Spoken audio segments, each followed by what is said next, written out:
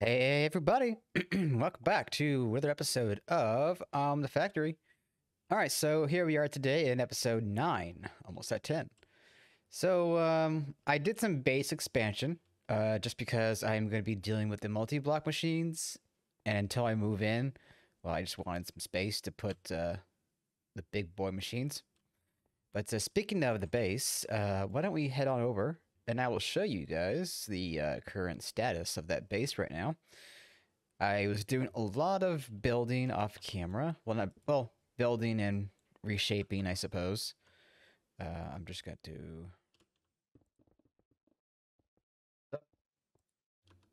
so I don't fall any stupid holes. Okay.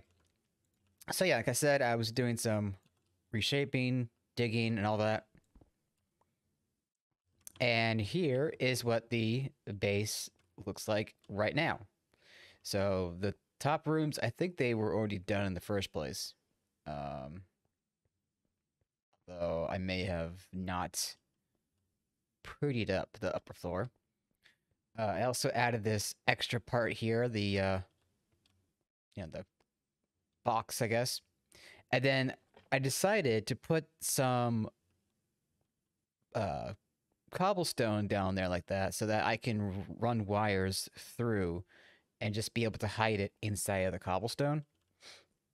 If that looks good, or if it needs to maybe be altered anyway, feel free to let me know. Like, should I put an extra layer of blocks so that it's flush with this pillar and this pillar, you know?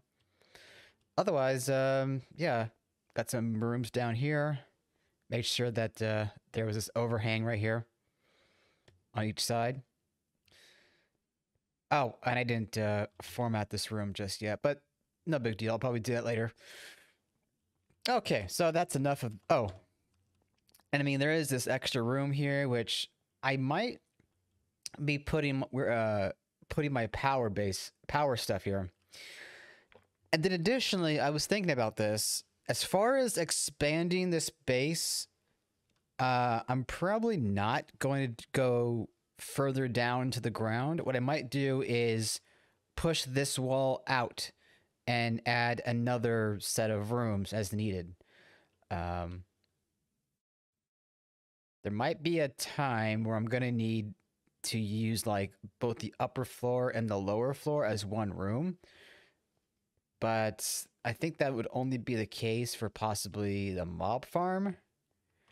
But uh, I'll have to think about that because if I'm going to do a mob farm, I'm going to need a big, big, big room. Like 17 by 17 or something like that. I could also just possibly put the... Wait, I say mob farm? I meant tree farm. If I do do a tree farm, it might just be above, like on the roof. So I won't have to worry about like one room being so massive compared to the rest of the base. okay, so and another thing I actually found out about is the the back command. It also I, I didn't know why I don't know why I never thought this before.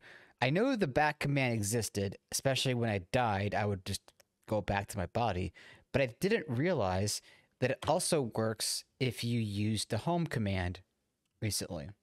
So if you teleport you can also teleport back. Oh, what? Oh, right. I hit, okay. Yeah, I just derped. Anyway, uh, so yeah. Let's get started on the multi-block machine, shall we? The uh, blast furnace, actually. So if I'm not mistaken, we had made the coils already. And we have a quest progress. Oh, nickel. Right, okay. Uh, okay, so let's get back to the beginning here. So we need the controller we have the coils. We also need the heat-proof casings and all of these buses. Uh, I actually have machine hulls right here ready to go. However, I do need to get two chests and two pieces of glass. Okay, there's that. Uh, um, I know it's got to be a chest around here somewhere. There we go. Chest. All right. Oh, and while we're at it, uh, cables. Do I not have some cables anywhere? no? Okay, I guess I don't. No problem. I'll just mix some more then. I'm going to need it anyway. And then the rubber. So I'm gonna pop that in there. What was it? Oh yeah, I was making conductive iron. That's right. Because I need, I'm gonna need uh, well, the power cables to hook up to the machines, but also to power or to also to craft another two CEFs because I like to give each of my multi-block machines uh, their own CEF. Well, in the event that I have multiples of, say, the blast furnace, I can share one CEF among, what was it, four different blast furnaces? Because there's two input buses. They each take two amps, so it's four. Yeah, so 16. So four blast furnaces share one CEF. And technically, I could probably have one CEF power both the blast furnace and the pyrolyse, but um, I'm not bothered by materials. Okay, so let me just put those in there, and that will cook up for when I need to make the CEFs. Let's get uh, the cables going here. All right, so let's get rid of this. So we're to put down a hole right there, and we're to do glass. And there we go. Get rid of that. Put the one on the bottom, and we get the output. And then chest, chest, so output bus, input bus. Uh, we now we need two of these. I turned the music on because I was trying to test my sound. There we go. Uh, okay, everything's good here. Now we need the heat-proof casing. So that is going to be... So we're going to need 12 of these machine casings, but we also need one set of Invar frames. So if I remember correctly, oh, it's right here. I'm going to need three plates and five sticks, uh, rods, rather. So maybe put some crap away. Grab, I know I made Invar. Here we go. Okay, so I already have the three Invar I need right there. So, actually, you know what? I'm going to need, let's see, heat proof. It's two words. Heat proof.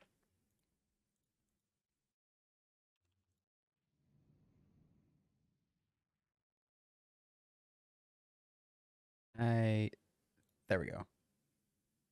Wait, that's right, isn't it? Yeah. Save. Okay. And then invar frame. Get rid of that. Save. Lathe. Okay, so I'm going to need 23 Invar plates.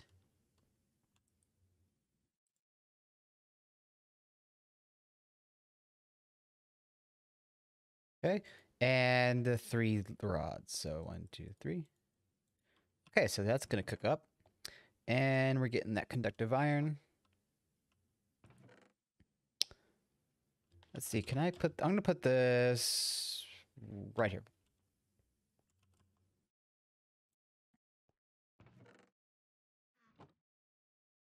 that's going to take some time still. In the meanwhile, we're getting that conductive iron.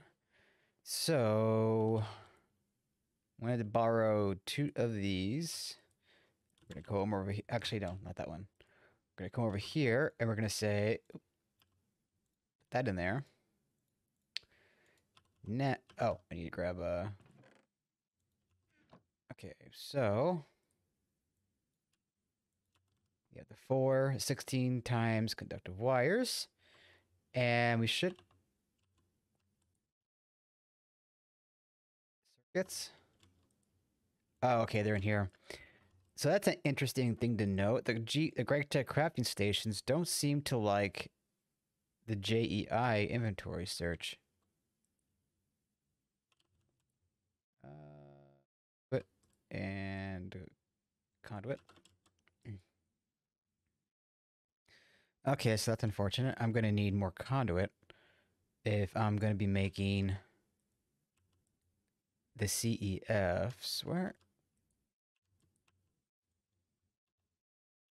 Crap chest. No, I don't want that. Um, here, I'm just going to make some more chests. Oh. There we go. Okay. Back to the doodad here. Okay, so there's one CEF. Uh, check on this. I think that's everything, right? All right, so the Invar frame. so one and boop, and the wrench got moved. There it is. Boop. Oh, okay. Oh, don't tell me it made more than I wanted. Okay, good, we're good. Okay, no problem. So, heat proof. So it's going to need the hammer and the wrench, which should be there already. Yeah, there we go. 12 heat-proof casings. Oh, and we're still going to need the controller, of course. So blast furnace. Okay, so we're going to put one of our heat casings back inside. And for the meanwhile, I'm going to put those in there for, uh, for room. Now we need the circuits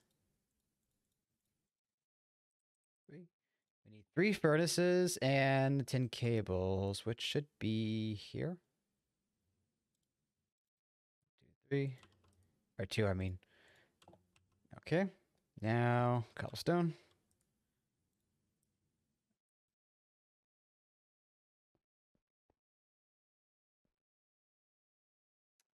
Pop that in.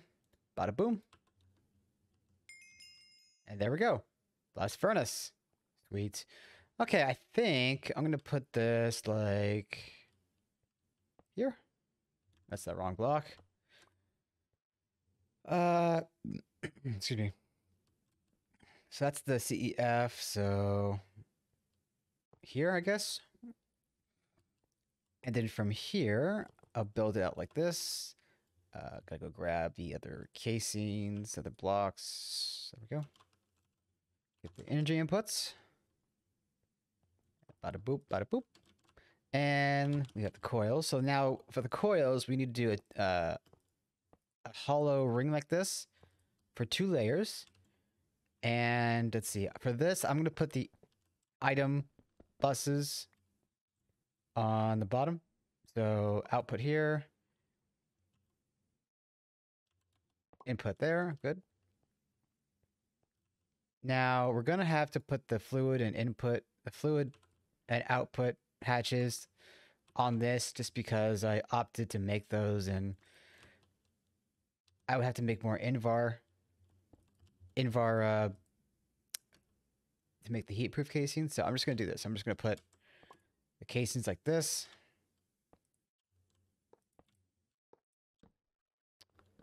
Wait a minute, what?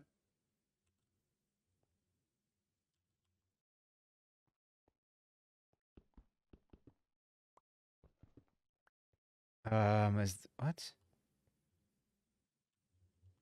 How are we missing?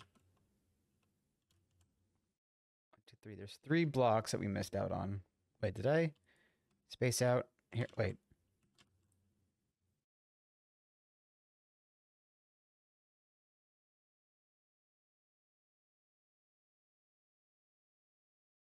Twelve, thirteen, fourteen, fifteen, seventeen, eighteen.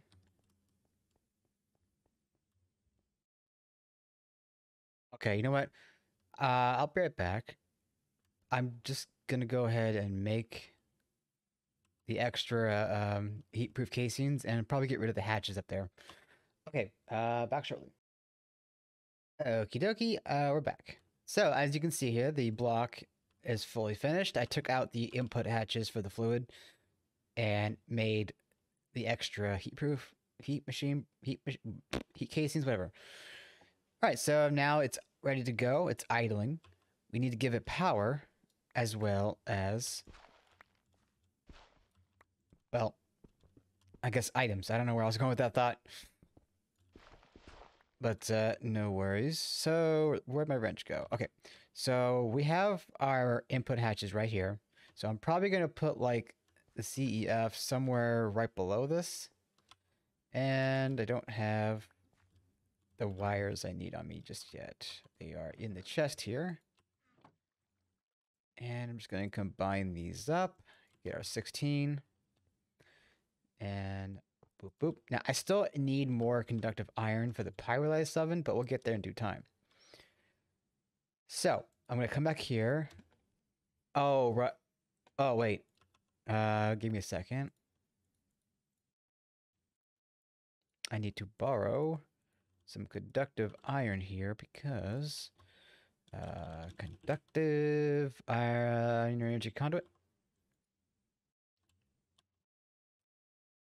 Where is that binder? Here's some right here. Okay. Come back over here. Oop. And pop that in. Oop, pop that in. Okay, that's weird. But we got the other CEF that we need. There we go. So this CEF is going to go under this machine. And then the other CEF will go under the pyrolyse oven. Now I am going to need more power. So let's go back to that drawer here. I'm just going to finish off the rest. Mm, this might not be enough.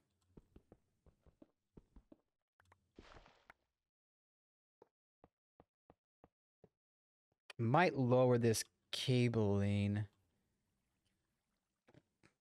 Yeah, I might like to, I might just drop the floor here like this.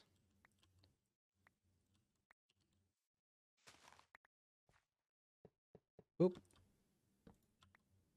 Uh. Oh, that's unfortunate.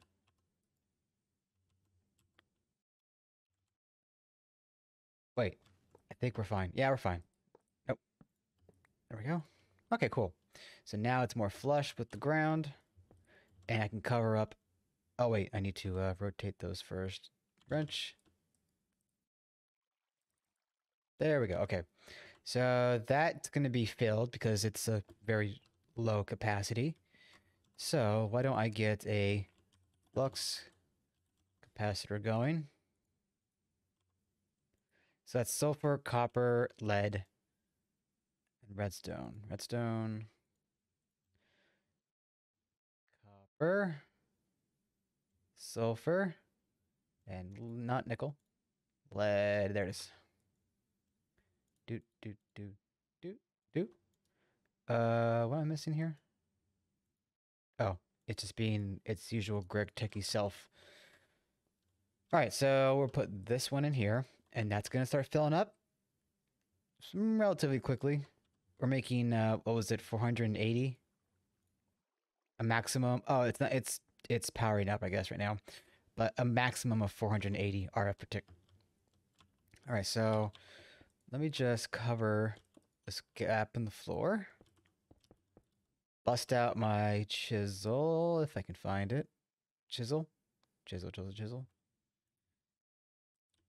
Did I put it away somehow?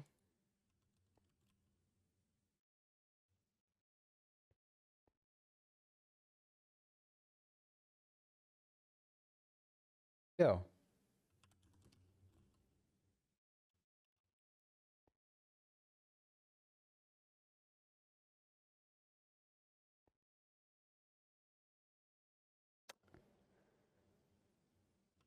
Did I did I put in a chest somewhere? Ah, there it is. Wh why doesn't it show up? That's so stupid. Anyway, uh, okay, so bada boom, bada boom, bada boom, bada boom. There we go. I still need to hide this, but eh, no big deal. Okay, so the pyrolyse oven, pyrolyse, that is, oh yeah, that's another thing I wanted to talk about with the new GregTech version, I think it's GregTech. It might also be uh, JEI, but essentially, there's now support where it shows you all the blocks you need. So that's pretty cool. I mean, these multi-block machines are for me easy to remember because I've built them so many times. But there's other things like the fusion reactor, where yeah, you can see it. It tells you all the blocks you want. Uh, oh yeah, you can still rotate it. So yeah, I mean, that's just a cool thing for beginners who don't know. And for those who do know more about the game, who just need an extra reminder. Anyway, so we're going to need so we have the casings, but we also gonna, are going to need ULV machine casings. We're going to need, well, you can ignore the HV part in this. You don't need HV, but we're going to need, actually, we ha- already have the output hatches and the input hatches, so that's good. But we're going to need input for energy and the item uh, buses there, as well as the pyrolysis oven itself. And that it's going to require we make the primitive processors. We don't have the means to make the electronic processors, the orange circuits, just yet. Um, actually, how far away are we from that? Oh, let me get that quest claimed. Oh, I still need to grab. Oh, oh, okay. So, right, that reminds me. Now that we have the blast furnace done, we can start making aluminium. So I'm gonna go over to my little crate here. We're gonna pop this in, and you can see it, the machine lit up here. So that is smelting up uh, aluminium. So with that, we'll be able to unlock the next chain of event. Uh, oops, hold on. Okay, I'm back. Sorry about that. All right, so what was I doing? Uh, I guess there was a conduit.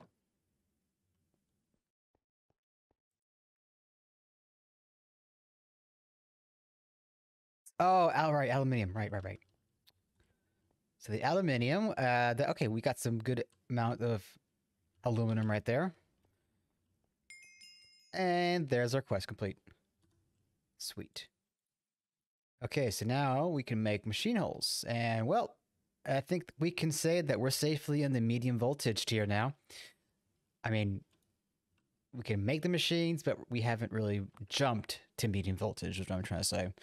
But regardless, uh, I'm going to go ahead and get these compressed into plates. Get a little more. Oh, it's it thinks pretty slow. So we'll be able to upgrade this eventually to what will essentially be shown as HV because to kind of explain, we're using LV energy input hatches, but because we have two of them, it's taking in a total of 128 EU per tick. So with the with the LV energy the LV energy input hatch, it's 32 EU per tick, but it takes in 2 amps. So 32 times 2 is 64 and times 2 is 128. So that's how you kind of explain why it shows 128. Okay. So we've got some plates going on. Grab a little bit more aluminum. Okay, so next up, we are going to need to make a couple of these babies. So I'm going to bust out the old calculator. Where to go? There it is. All right, so primitive processor. And I'm probably going to make like eight. All right, so we're going to get the recipes clocked in here. Uh, jungle.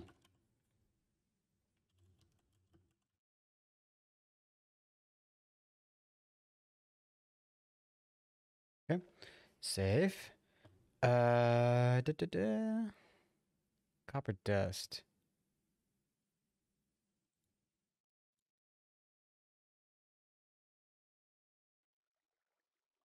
Oh, I know what it's complaining about. Okay, so now we have the alloy smelter. We can add in the new recipe for ingots and copper. And I th think that's it as far as recipes here. Um,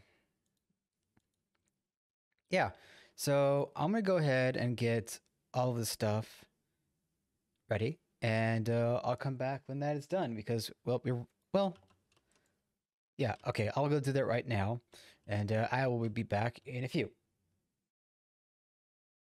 Hey, everybody. Okay, we're back. So, uh, I went and made some things off camera. And, okay, so the first thing I did was I made all of the primitive circuits I was going to need to make these bad boys. Nothing new here, but as you can see with the primitive processor recipe, we got wrought iron plates, the diodes, and red LED cables. So the diodes are, you know, tin wire and some glass panes. I think we covered this before. Regardless, I'm going to go ahead and craft those up. And we got our first tier 2 circuits. Nice. All right, so over here... Oh, another quest complete.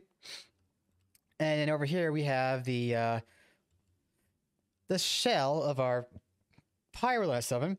And I primed the uh, CEF right here because right here we're going to have our two energy inputs. And the rest is going to be uh, casings. And then, oh, actually, additionally, there will be a energy, uh, a fluid input casing right here, but I'll explain that when I get to that. Um, which actually I can do that right now. Uh, oh, right here. Okay. So I'm going to place some of these parts down. So the fluid output hatch, I'll put somewhere like here. Okay. No, uh, that's the wrong hatch. The fluid output hatch goes on there. And the fluid input hatch will go here. And let me just get down here and wrench that.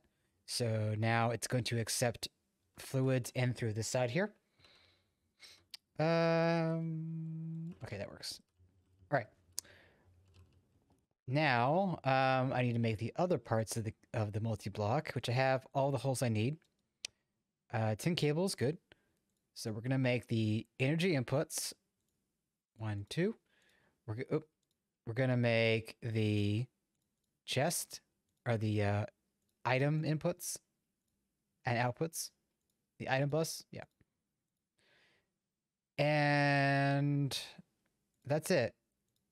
Input, output, yeah. Because we already have the hatches, right? So we're going to put the input here, output there. The energy inputs here and here. Oh, we didn't make the multi-block block yet. Uh, controller, I mean.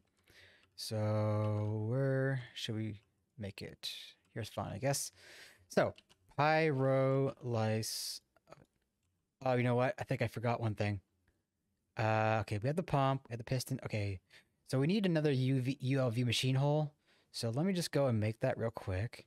Uh, that is going to be red alloy cable with iron plating. So that will be a quick fix. Uh, am I low on iron again? Good, good lord, I need to go mining off camera. But that's not a problem, but that will take some time. So I believe I have, well, I do have some iron plates right here, but I want to make those, I want to turn those into the casings for the rest of the multi-block. So we need, oh, so the quest calls for uh, 12.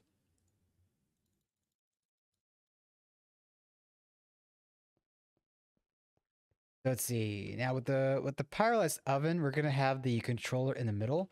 So I'll do something like this. And oh, would you look at that? It actually planned accordingly to use the um, machine casing. Okay. Um, those are both tin cables. All right, so let me just do this. Uh,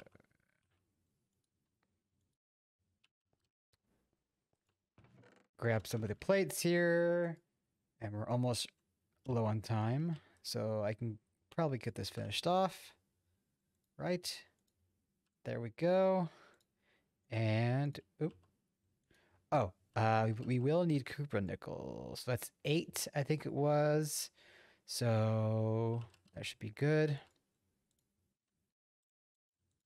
And voila. That will smelt up. And then I gotta press it in the wire mill. And then uh, this will be a good uh, end of the episode. Oh, you know what? While I'm doing this, I forgot I need one more machine component, and that's going to be a basic fluid heater.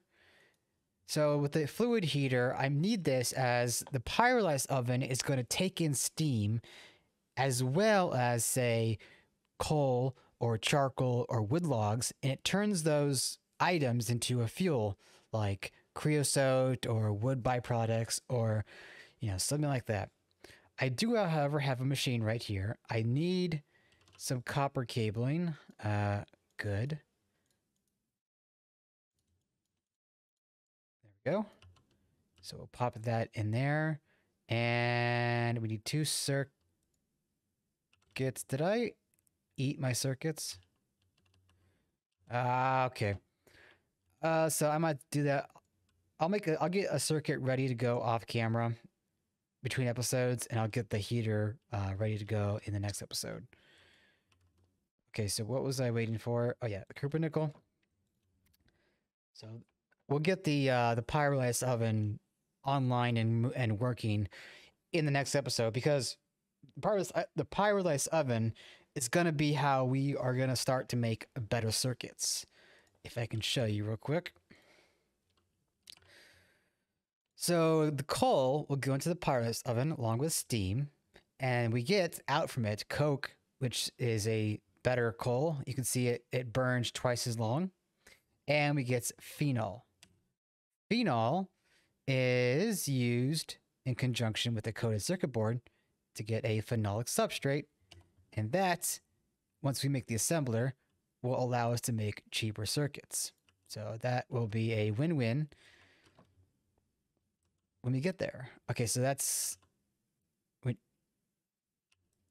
Oh, right. Pyro lice. Okay, so that needs two fours.